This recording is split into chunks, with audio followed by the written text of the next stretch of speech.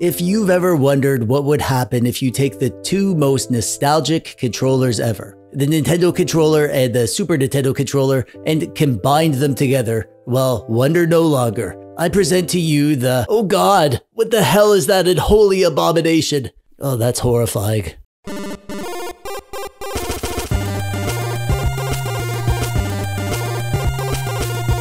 Hello, hi there. I'm TechDweeb. Welcome. Thanks for clicking on the video, buddy. I have been sick as a dog for over a week. I lost my voice earlier this week, and it was uh, kind of pathetic. Hello, hi, how you doing? I'm TechDweeb. Welcome. Thanks for clicking on it. Luckily, I recorded the audio for three videos at once, which I never do. It's almost like uh, I did that, and then my body was like, oh, you don't need your voice then. Okay. And it just it took it away from me. But I'm finally able to talk again. If I sound a little different, that's why. Uh, those who know me well, and heck, those who barely know me at all, know that I have a bit of a thing for the old Nintendo vibe. Maybe it's just because I love the Nintendo. Maybe it's because it was my first console. Maybe it's because I still love the Nintendo. Maybe it's because I'm an old man and yearn for the simpler days of sitting on the carpet playing Super Mario Bros. and eating Dunkaroos. But I have a serious nerd crush on anything that's beige with gray and red accents. Anytime I can get a thing in this color scheme, I do because, because I love it. I, feel like it captures the spirit of a, a specific era of uh, retro tech. So anything that brings back this vibe is gonna get instant brownie points for me. Which brings us to this the famous 8BitDo SN30 Pro controller. I've heard so many good things about this thing. I've heard tons of YouTubers talk about it, I've seen it in a ton of videos, and I'm, I'm sure you probably have too. And I finally pulled the trigger and bought one of my own. And now the question you're probably asking is, what does TechDweeb think of the 8BitDo SN30 Pro? Well, I'll tell you,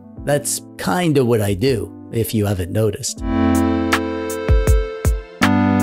The SN30 Pro is the world's first fully featured retro controller. It comes in boring gray and black or this nostalgic retro color scheme. And also now they have transparent purple and green flavors. It boasts a full button set with clickable joysticks, rumble vibration, motion controls, wireless Bluetooth, rechargeable battery, home and screenshot buttons, and a USB-C connector, and a quote unquote perfect D-pad. Well, I'll be the judge of that, thank you very much. But yeah, it's it's perfect. 8BitDo is known for the quality of not only their product build, but also the handling of the controls and inputs. So obviously we'll take a look at that in a bit. It's the classic Super Nintendo controller shape, which seems to be coming back. I've seen quite a few devices lately with this form factor. Uh, controllers like this, obviously, but th there's the uh, RG353PS, for instance, which I loved and is also in that classic Nintendo color scheme.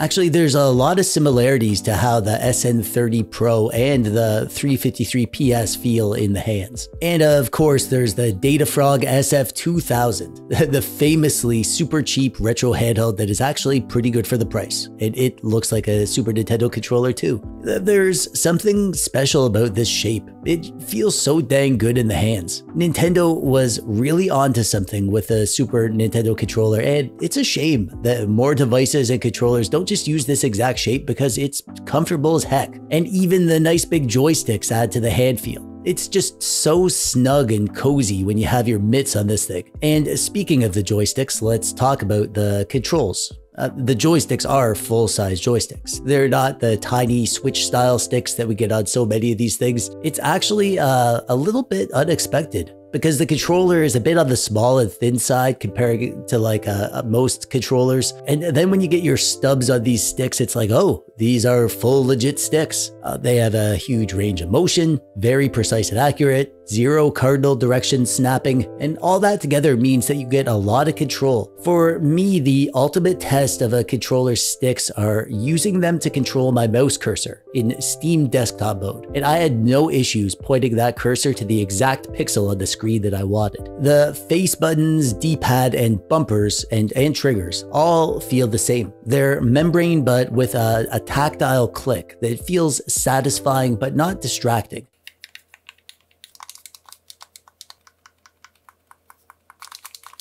I read some comments where people were complaining about the clickiness of the buttons, but I love them for what it's worth. The D-pad really is freaking perfect. It is a perfect size. The dip in the middle to rest your thumb and the texture on the arms just feels great to use. And the responsiveness is perfect too. You won't be getting any false diagonals or have any difficulty pulling off your special moves. The bumpers and triggers are especially comfortable, not only because they're easy to use, but also because L2 and R2 have a, bit of a dip in them that makes a, a droopy little finger hammock to rest those fingies. One pretty major downside is that these are not analog triggers, so they'll be great for the vast majority of games, but for things like racing games where you need a fine analog trigger control, you're not going to get that here. The start and select button feel different than the face buttons. These are made of rubber and they are super mushy, similar to the old, uh, old, old Super Nintendo started select. They feel good though, I'm, I'm not complaining. And then we get these other two buttons, a, a star button and a home button.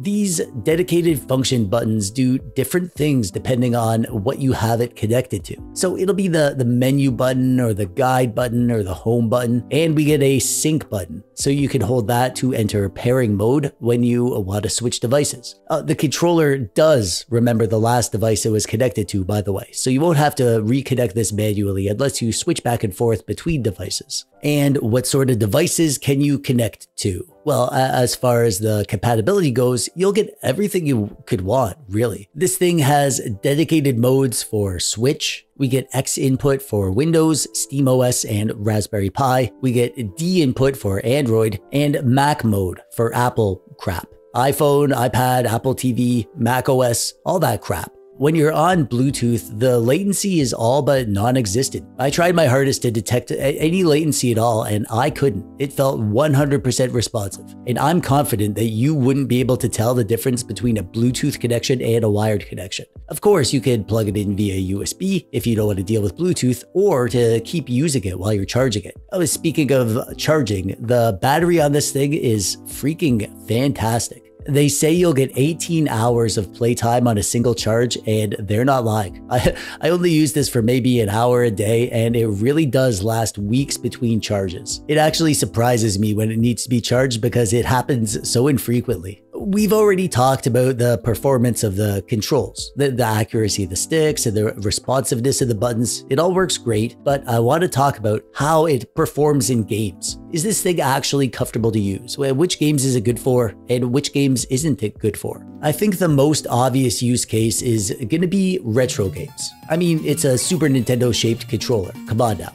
for retro games, you're to have a, an experience that not only feels authentic, but it looks the part too. For NES or Super NES or Game Boy, the Game Boy Advance, Sega, you're to feel right at home on the SN30 Pro. And also PlayStation and Nintendo 64 and Dreamcast, Sega Saturn, PSP. It's honestly so generally comfortable for these kind of games and the, the, the controls are so convenient and they work so good that it lends itself well to almost any retro system. The only exception is when you get into the higher end systems like GameCube and PS2 or beyond up to Xbox 360 or PS3 or whatever because of those non-analog triggers. However, the main games that you'll want analog triggers for are racing games. And it's not that you can't play racing games. I'm not a racing game pro, but I can play these games with this thing and ha have a great time. It's just that the racing game purists won't enjoy not having precise throttle and brake control.